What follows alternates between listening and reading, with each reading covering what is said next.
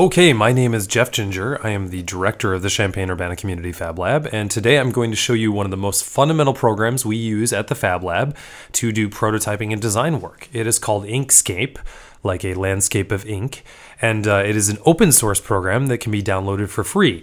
So you can just go to Google and type in Inkscape, and you will get this website, and you can go here to download, and you'll notice it's available for all platforms, for Windows, OS X, and even Linux.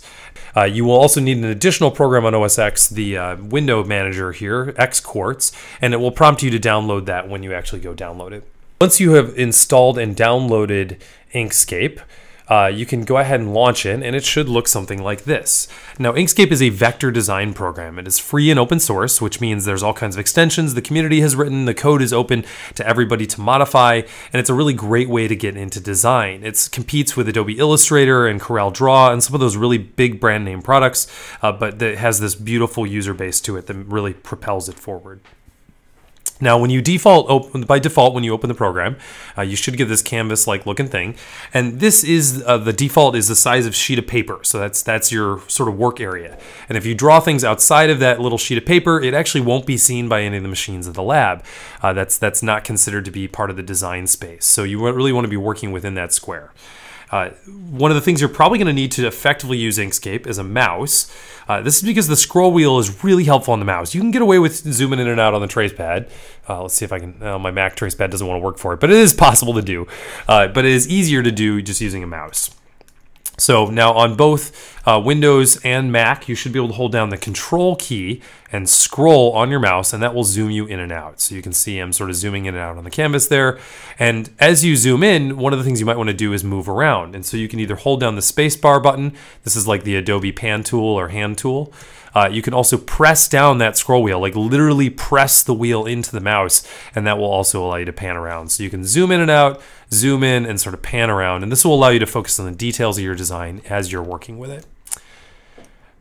Okay, uh, the other thing that might happen is you might like zoom in like this and oh my god, where did you go? You don't know what's going on. You can hit the 5 key on the keyboard and that will zoom you right back out just to the overall view that'll make it really easy to see what's going on. Uh, if you'd like to adjust your canvas size, you can go up here to File and Document Properties. And if, especially if you set this up at home, you're going to want to adjust this. By default, this is going to be in pixels. Now, pixels are fine if you're a graphic designer, but if you're working in the Fab Lab, you probably want to think in real units like millimeters or centimeters or inches, because those are what we actually measure things with in real life. Because we don't say this ruler is 12 pixels long. That doesn't make any sense. Pixels are a relative unit. So uh, if we go to inches there and inches here, that should convert it to something that I'll recognize. And you can see that's almost an 8.5 by 11 sheet of paper. If I want to match the size of the Epilog uh, laser engraver, I can set this to 24 inches wide and 12 inches tall. And then I can just close. There's no OK button in this dialog. You just close it. And now if I hit the 5 key, you've noticed it's it's now filling up pretty much the whole screen. It's, it sort of matches the wide screen of my computer pretty well here. All right, so the first thing we're going to do to get started is learn how to draw shapes. And there are a bunch of different shape tools we can use, but uh, the easiest are the rectangular or square tool, the ellipse or circle tool, and the star or polygon tool. So we're going to go ahead and start with that rectangle tool. And if you just select that on the left there, should be, I'm trying to move my mouse there where you can see it. It's all the way on the left, and I can start just drawing polygons, uh, or, or specifically squares or rectangles. Now, as I draw this, uh, it will it will have the dimensions sort of noted up in the top here. You can see like right underneath where it says file, edit, layer, all that stuff. It actually gives you numbers, and so you can be very specific. If you want to set this to exactly 4.5 inches, you can adjust that there, and there we go. We've set that number. Uh, we can also adjust the edges to be curved. See, I can click that, and it will incrementally make rounded edges to the rectangle, which might be really helpful if you're trying to create that kind of design. Uh, if you would like to use the visual handles and adjust it to a specific amount, you can actually grab these little guys here, these circles and the corners on it, and adjust it to whatever specific amount you'd like. Uh, if you've messed that up or if you just want to get rid of them, you can go ahead and just set these back to zero, and that will undo what we were just doing. go ahead and zoom in in here so you can see what I'm doing a little better here. All right, now this works the, essentially the same way for all the different objects you can draw. So if we make a circle here, uh, again, we have the ability to adjust it as an ellipse and we can grab this circle here and make sort of this Pac-Man thing if I go far enough. oh, maybe I'm using the wrong thing. So you can see up here that that's that's where it's actually going to cleave off part of it to make it like a, as if something had been sliced off. But we can switch it to this to sort of make Pac-Man. And Pac-Man can go, oh, there's, oh, it switched it back. Oh, I'm using the wrong tool. But anyway, you can adjust the where the ending is to have Pac-Man open his or her mouth uh, wider or, or less. And that's that's one of the ways you can adjust the node if you wanted to make like a pie chart or something. Now, uh, I just did something that you're going to be doing all the time. So I drew a couple of objects, and now I want to move one or select one. Instead of trying to do that, like if I tried to do that with the square tool, like if I draw my rectangle and then I like try to select my rectangle with it, I'm just going to continue drawing rectangles, and that will get really frustrating. So if you don't want to do that, you can hit Control Z and just start undoing things. You can also go here to this arrow tool, the select and transform tool, which is also the F1 key, and that allows you to left click on things to select them. So if you select them, you can then hit the delete key and that will get rid of them. You can drag a big old box around lots of things to select more and delete many things. You can also do control A to select all the things on your screen to delete them. So I'm going to go ahead and clear this off just so we can get to the other tool. So the uh, polygon tool here, uh, or the star tool, is really kind of neat. So by default, it draws this nice little yellow star, and we can adjust the prong length if we want to, and we can even kind of make our star dance. Here we go. Da, da, da. And you've got some other kind of neat functions up here of you can uh, make it rounded on the edges. We can add more corners sort of get like a jellyfish thing going on. And here we go. If I hold down this button, I will become a professional modern artist. Ready, set, boom. Oh my God, I made crazy cool modern art. So that will randomize how the prongs and the star work. And you can kind of even make that random art dance by adjusting the corners. And that's, that's kind of neat that you could algorithmize that. So if that gets all screwed up, you can just set everything back to zero. Uh, for a rounded uh, your spoke ratio if you set that to zero that'll cause problems uh, it's better just to adjust it to something in between so those are the basic shape tools. Oh, sorry, I missed. Uh, there's also this one, so you can adjust it to uh, be a polygon. So you can say, I want a triangle, da da da, only three corners. And you can do many more if you want a hexagon or whatever other kind of cool shape you like. And you can also randomize these and round them just like you might do other things. So those three tools are how you draw a lot of basic shapes. Uh, you can also go over here and there's a pencil tool if I want to like write my name here we go. It's going to look like a drunk guy wrote it. But if I crank up my smoothing a little bit here to like 35 or something, I can still look like a drunk guy while I'm writing it. But oh my God, look at that. It's smoothed it out. Looks a lot better. And this actually works best if you're doing a graphic drawing tablet. Uh, but that's that's a more advanced tool that we probably won't be using. It, it is nice to do. There is also this uh, cursive tool here or this uh, calligraphy tool that also by default looks pretty good. And you can also draw lines with this Bezier Curves tool. Now this is probably the hardest tool to draw with. You click on it once, that's gonna anchor your start point. And you can see this red line I'm dragging across, and if I left click and I hold it, I'm holding down my left mouse button, I can start to curve it. And I'm gonna do, here we go, something like a, that. There's my curve. Now if I right click, at any point, that will finish my curve. So there we go. I've driven, dri driven, I've drawn my curve line here. Now, if I want to make a heart out of this, I can go and click on the bottom node. So I'm connecting it to that square. If I didn't click it on that square, it would not connect it. I'm going to click on this top square and I'm going to do the same thing where I kind of curve it and hold down with my mouse and I have now drawn a really crappy heart. So now you could go back and adjust that later, uh, do multiple things. There are other ways to do hearts as well. But that kind of gives you the, the idea of the Bezier curve tool. Now, one of the things you might do if you want to make more complicated shapes, I'm going to go ahead and clear my screen here by selecting everything and hitting delete, is you can select uh, like a shape tool. So I could do, if I want to do a heart, let's go ahead and set our Pac-Man back. We got a 360 degree ending. Uh, we can draw one circle and two circle. And then let's go ahead and do a triangle. Da, da, da, okay, and something like that and I'm going to go use my transform tool here and drag it on, on sort of on top. And I might want to like adjust this. And actually, this is a great example of how we might adjust things. So if I wanted to make this triangle wider, when I click on it with the free transform tool and the movement tool, I can one, drag it around and move it, but I can also do things like grab this arrow right here and make it wider. So that kind of matches. And you guys can probably already see what I'm getting at here. So you can also drag the bottom. And if you wanted to adjust it proportionally, you can grab one of these corners and hold down the control key. That will resize it by aspect ratio or keep the ratio the same. And you can see it just widens nicely like that. And that's really, really important with text. Otherwise text will look really stupid.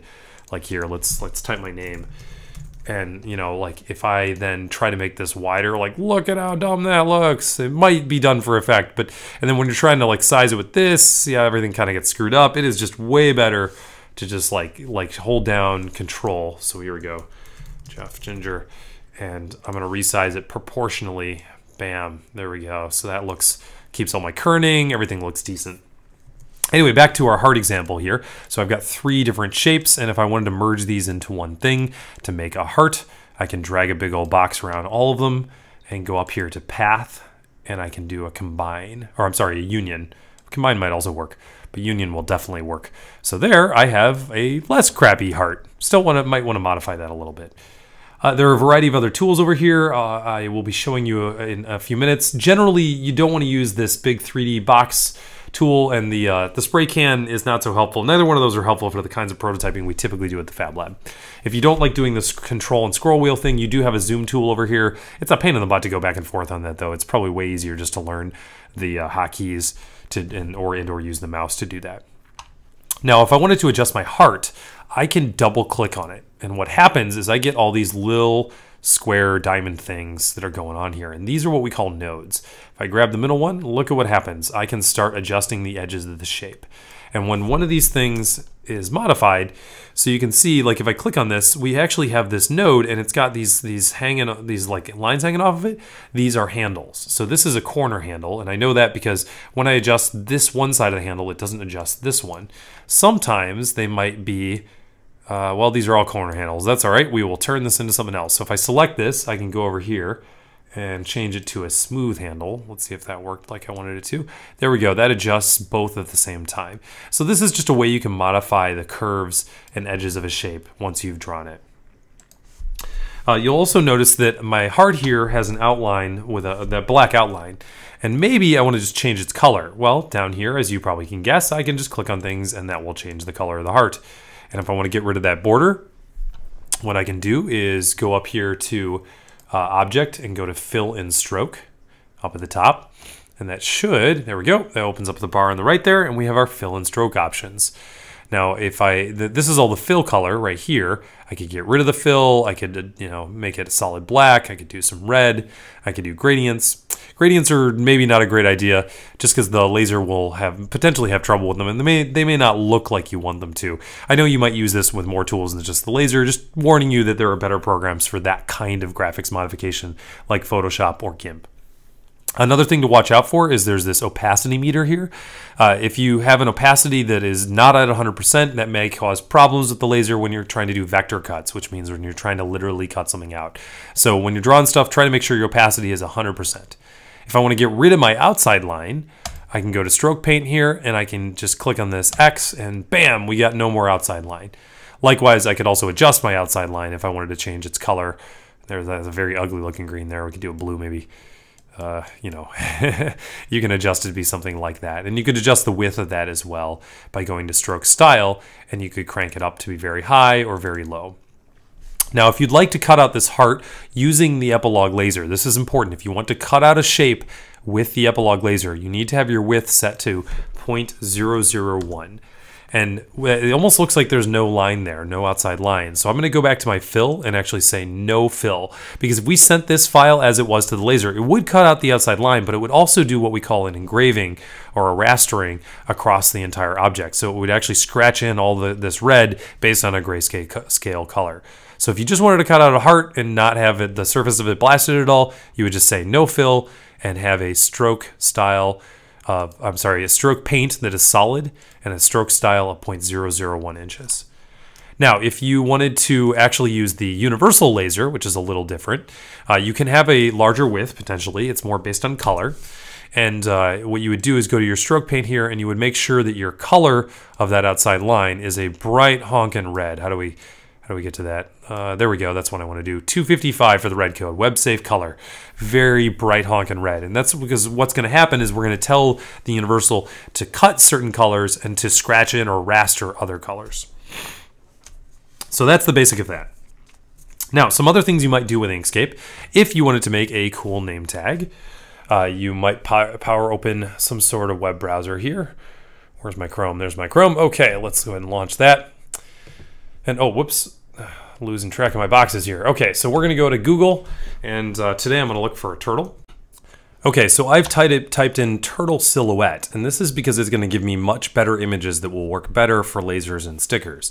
If you have a image that has, say, millions of colors in it, which is most photographs now, eh, you actually won't be able to have, like, your, your vinyl colors on the sticker cutter will only be limited by the number of colors you have. So, you know, maybe we have a dozen colors of vinyl. And the laser engraver, you're actually only going to have one material that's going to go in the laser, like wood or acrylic or something else okay, resume. So what we'd like to do is a silhouette because that will make a simple image return. So I've searched for turtle silhouettes here. I can go to images and these will all turn into vector images really well. And I'll show you what I mean in a moment here.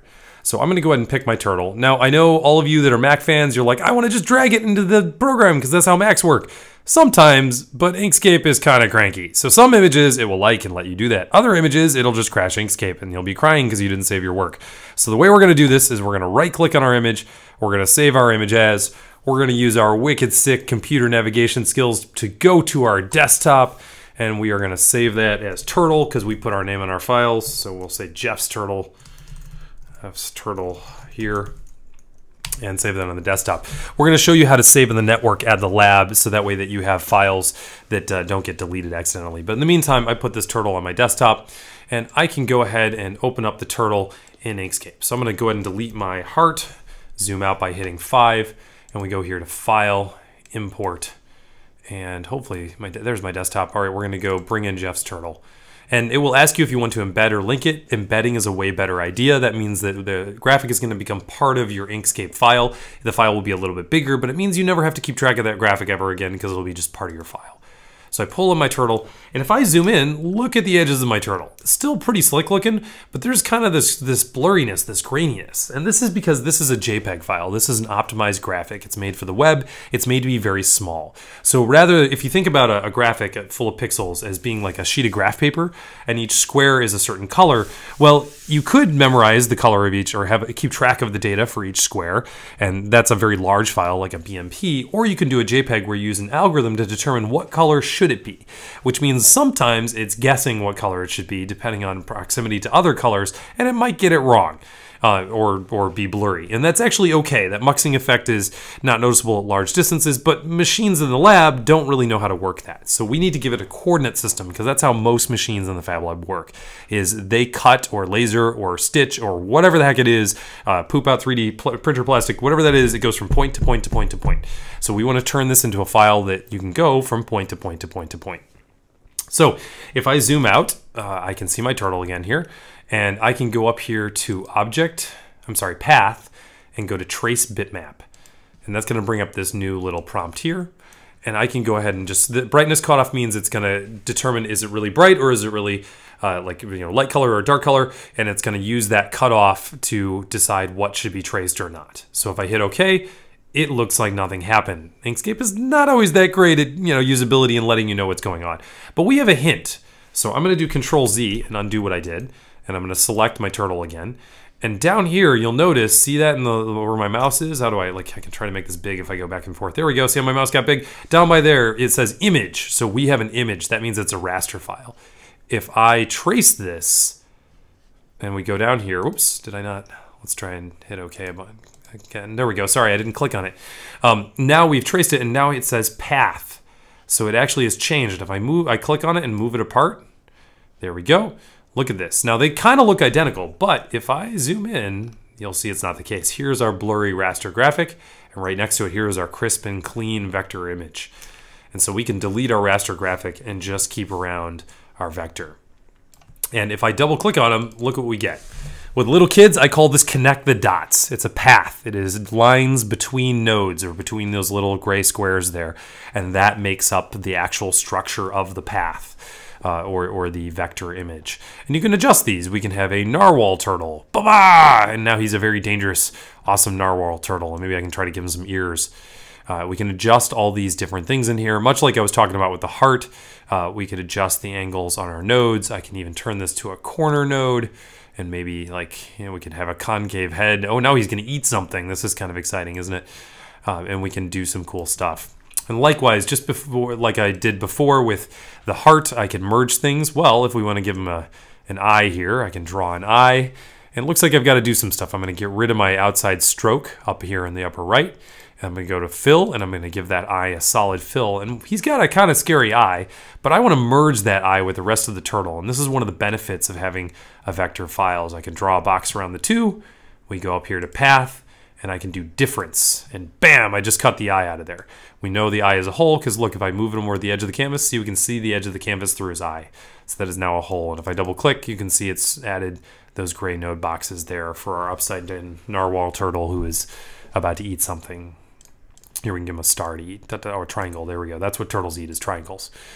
Okay, so uh, we have our, our, our, image that we've traced here. Now this is great if you're just trying to make a, Uh, a sort of cool mythical animal. We're going to do something kind of like that for the stickers exercise. But your first activity is to make a cool looking name tag. And so we want to make something a little more professional looking. Turtle's great, but we can do better. So we can use the same principle to actually go get some ideas for how our name tag might look. Now, when you learn to play piano, uh, nobody starts out just improving. Everybody has to learn by copying, and that is something we're okay with at the Fab Lab. We want to make sure you give attribution, uh, and then we want you to eventually remix and change things to make them your own, but you can start out by mimicking you, something you think is cool. So I'm going to go back to our trusty Chrome browser here, and instead of Turtle Silhouette, uh, we are going to search for business card. Let's see if that works. And you get lots of different kind of cool looking business cards. And let's see if I can scroll through here. Okay, I've found a couple of business cards that I think make good examples. So I'm going to go ahead and clear my canvas here. And I'm going to do that by hitting Control A, which selects all the objects, and I hit Delete. And now I'm going to go up to File, Import. I downloaded these just like I downloaded the turtle. And we're going to start with this business card. Now, this is actually hard to mimic directly. So what we can do is sort of put that over there in our canvas, and we can actually just kind of use that as inspiration. So if I think about, okay, here's my business card background, let's go ahead and set the fill color to uh, like a white, oops, go there, yeah, 255, 255, 255. There we go, that's white. And we'll do a stroke outline of, there we go. So we've now got our frame for it. And maybe I want to draw like the, some of the colors in there. So I can actually draw another box here, a rectangle, and uh, I'm going to get rid of the stroke paint on that one, do a fill, and I'm going to use my eyedropper tool here on the left, on the very bottom. Let's see if I can shake my mouse enough. There we go. So over there, and I can say, okay, I want it to be that orange. Okay, now we've got a piece that is that orange. I use the eyedropper tool just to steal the color from them. I copy and paste it, I'm to line those two up, and now I'm going to use my eyedropper tool again, and I use the blue. And you can see, so I'm actually kind of mimicking the design that they've got here, but not directly because I can't like really directly trace it. I'm just kind of getting an idea. And I don't want you guys to directly steal something like this. What I'd like you to do is be like, okay, I like their color palette, or I sort of like the idea of maybe the the squares at the bottom or the rectangles at the bottom, so I'm going to steal that element of it. But you know what? Instead of putting it only at the bottom, I'm also going to put it at the top, or maybe I'm going to put it at the top instead of the bottom, and you can kind of start messing around with it. Um, you'll notice that I just copied two of the squares there while I was talking, and you know I can just kind of go through and start sniping colors here with my eyedropper tool, and I'm starting to get something that looks a little bit like their card. So that's that's a way that you can sort of mimic something and then just start playing with those design elements. You know, maybe later I decide, okay, this is a pretty cool like thing. I like these four colors here like this. I'm gonna do Control G to group it or you can right click and go to group. And now I can move this whole group around and I can kind of see, does it look good here in the middle? Is it good up over here? One thing you're likely to do is you may want to align things. So, you know, maybe I want to put like this here and I'm going to put my name on top of it, right? So I'm going to go over here with my text tool and say Jeff Ginger, blah, blah, blah. All right, there we go. So, and with my text here, by the way, I can double click on that and adjust all kinds of things about my text. I can go up here and say, uh, instead of sans serif, let's pick like a know, Helvetica is a famous graphic designer font. We can adjust my sizes on that. I can you know do the kerning, everything else, and uh, I can stick that up here and maybe make that a little bit bigger. And if I want to say align it, let's say this thing was floating out here, and I want this thing to be aligned, my name to be aligned with this grouping of color colored rectangles. I can select both of those things and go over here, and there's this align and distribute tool. I click on that and I can choose over here, I can say, okay, I want everything aligned along the left edge. Oops, is that, that's not the right one. I'm sorry, this one is the left edge. There we go. That popped my name over to be start in the same place and the same edge of this. Likewise, if I wanted to center the two things, I can go here. Now this is based on the uh, relative to the selection area, but I could also say largest object, smallest object, the page, all kinds of different ways of centering this depending on what your relative choice of uh, perspective is.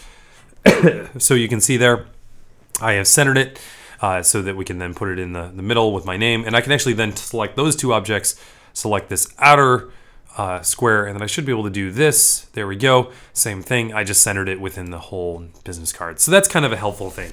So the two things going on there is that I'm using the align tool to center stuff, and then I'm also kind of like looking at ideas that they've made. Uh, another good example in here is you can see there's that creative thing, and this is kind of like a badge shape. So let's say I wanted to make that badge shape up at the top. Well, I would start out by drawing a rectangle. And there are a few ways I could do this. So one, I could just draw a rectangle like that, go back to my polygon tool, draw a triangle, and we got to go back to our free transform, Maybe I got to rotate that a little bit just to get it a little bit more. Oh, it's going to be angry. There we go. Okay, and then I can widen that a ton and shrink it this way. And now I'm kind of getting close to that shape. See, I can overlap those guys there. And I know I'm going really fast. And you can, you know, mess around and practice with this to start getting as fast as I might be. And you want to have those overlapping. And this is just like the heart combination thing we did earlier. I can select those two guys and actually get, could even line them up there. I go up here to uh, path and we can do union and bam, I got my bad shape. So that's that's one way to do it. I also think you can adjust it if I want to do a rectangle and let's see if I can. So I want to get into the nodes in the rectangle. Now, by default, if you double click on a rectangle, you won't get the nodes. That's because it's a smart object. So I got to go to this thing and uh, let's see here. We want, oh, actually, I can't right click on it. We got to go up to path and we do object to path. So that should, there we go, that just gave me the nodes. So you can see now I can start messing around with this thing. It doesn't just look like a standard square. I lost my ability to do the rounded edges and all the cool stuff the smart object does. I'm gonna just undo the two things I did. But I can do things like select these two nodes here and hopefully if I do plus a node, bam, right there. You see this? I hit this in the upper left. I'm going kind of quick here. Uh, upper left there, I just added an additional node. And now I can just kind of let that node poke out. So rather than making a shape by combining shapes, I could also just adjust the number of nodes on it to make it into something new. So that might be a useful thing. So I would really encourage you to get ideas for layouts and colors and shapes and all those different things just by looking at other, other people's stuff. And you know, you might start with something like this, but you know, I can flip this upside down. What if this goes here? You know, maybe I don't want, I don't, maybe could this go on the side? Like, I just play around by messing around with stuff. I'm already kind of getting this feeling of like, you know, it's an envelope or something that's, that's, you know, we're directing all the attention with these arrows right to the middle. Bam! This is all about uh, the me, the Jeff Ginger, or whoever it's going to be about. It doesn't really matter. Okay, so you can see a lot of this kind of emerges as you go around just moving objects around the canvas and playing with them. So that's one way to get started. Another thing that's a little bit more direct with this reverse engineering bit, I can just clear my canvas, is I can go ahead and go import, and I'm gonna import this card. Now this one's gonna work because it's a straight on view. This is a raster graphic, so I can zoom in on that and you can see it's nice and blurry uh, as we get it but I can make this a little bigger. And I still have my trace bitmap uh, dialog open here. If I use that, I can go to colors. And how many colors do I think in here are in here? There's the gray, there's like, you know, three or four shades of yellow, three or four shades of red. Okay, so let's let's guess that there's like 12 colors at least. So I go down here and I set this to be colors. Let's move my mouse. You can see where that is. Colors, and then uh, scans is going to uh, the number of colors pat or color uh, runs it's going to do, the number of times it's going to go over it and make for different layers of colors. And if I hit OK, okay, we didn't get quite what I wanted, but it did make a vector file based on the triangle piece. And that's actually pretty darn close. Now, this is not perfect. If I wanted to use elements of my trace here, excuse me, to make a name tag, what I'm going to have to do is right click on this and ungroup it. And now we've got all these different layers and I can sort of move these apart. There's the gray, I don't really need that one. This gray, eh, we can probably get rid of that too. All I really think I'd want out of this is probably those triangles. And on any given layer, I can double click on it again and we get all those nodes and I can just delete them. I can uh, move my mouse over them as a big box and, and select them and delete them. And sometimes you get these hanging off handles. I can sort of just pull those back to their origin. There we go. And it's looking not so bad do the same thing with yellow. So once again, I left click, I double clicked on the yellow or I clicked on the yellow with our node selection tool. and I highlight all these nodes and I can hit delete and drag that all back in. And you notice I'm creating a fairly concise graphic here. So, and you, I, you also notice I have to do this a lot of times. I'm clicking on stuff, I'm deleting multiple parts and multiple layers. And that's kind of one of the things that happens with design is you're doing the same task over and over, you're messing with it, you're fiddling with this part and then that part, this other part, and you just kind of have to get used to that is that it's not like a test where you just memorize all the answers, take the test and you're done. No, this is like you mess with the thing a lot. Oops. So once you've got this piece, I might want to use this in my name tag, for instance. So I can shift or uh, select all this whole thing. You notice when I select it, there's these big sort of beefy dotted lines, which means there's lots of things selected. And I can right click on this and group it. And now I have a single discrete object that I might use as part of a name tag. So maybe I want to, I can go up here to object and I can flip vertical. Bam, that flips it upside down. And so now I've kind of got the bottom of my name tag and maybe I can go up here and we'll do, let's do a rounded rectangle on top of it. That is a clashing green. That is pretty bad. So, but I can grab these nodes here, or I'm sorry, these edges here, sort of adjust. I don't know if it's perfect, but whatever. So, you know, I've kind of got this, this rectangle. If I know right now, this one's underneath the other one. So I can go up here to object, or is it, yeah, it's arrange. Here we go, object and arrange down at the bottom there and I can uh, adjust what level this is. So I think, can I just right click and bring it to front? All right, well, all right, the shortcut, there's it's over in here, but uh, the thing I like to do, if you can see where I wiggle my mouse up here, you can just say, all right, I want this on the top. There we go. So that layer is gonna go all the way up on the top. And uh, so we can kind of get that there, and I can, let's get this, this green looking better. So we can say, make this white, and stroke paint, let's give it an outline. And, you know, it doesn't really matter at this point, but there we go. So I've got kind of a, a, name tag that's that's not perfect here, but this is based a lot on the one that you just saw me pull in. And you can kind of fill this out and start customizing it. And I would encourage you to play with typography. So, you know, the boldness of fonts and the sizes of fonts will indicate importance with them and look nicer. So I can bold that guy, Let's try and crank that up to like 48. There we go. See, that's already kind of looking like something. So here, just kind of by pillaging other people's stuff, I've already made sort of a name tag. Not really done. And a reminder that when you raster this out or cut this out on the laser, it's only going to be the color of the material you give it. So, you know, like wood or some acrylic or something. But uh, you could potentially use this as, you know, if you printed this out as business cards or if you had a printer, you could put that this on something. So the, the, colors are not bad. The gradients will still show up. Like the lighter yellow will be scratched in less than this darker red. So it could still look good. It's just monochrome. And if you want to get a preview of that, you could just set it to be a monochrome color. Okay, so I think that's more or less the intro for the name tag. Uh, so you, are going to need to become familiar with all the different components in Inkscape. Obviously, there's lots of tools over here. I would like to really encourage you to do something that looks a little bit more professional. You can start playing around just like I was a few minutes ago with all the different shapes and structures and maybe come up with multiple designs. That's fine. Uh, you're going to end up cutting one out at the lab. There'll be lots of people to help you. The first time you run through with a laser, make sure that there's somebody helping you. They're not easy to use and they're fairly expensive tools. And uh, this program, Inkscape, can be used for designing stickers and other things. I'm going to show a different method with Silhouette, uh, the Silhouette Studio. However, this you know the, you can basically make the same file in this and then import it into Silhouette if you would like to. That's that's a fine method for doing this. Uh, as usual, if you've got questions about this, do ask us. And we have a paper tutorial that is very exhaustive, talking about all the options and things you can do. That is a complimentary piece for my video. Thank you for watching, and we'll see you in class.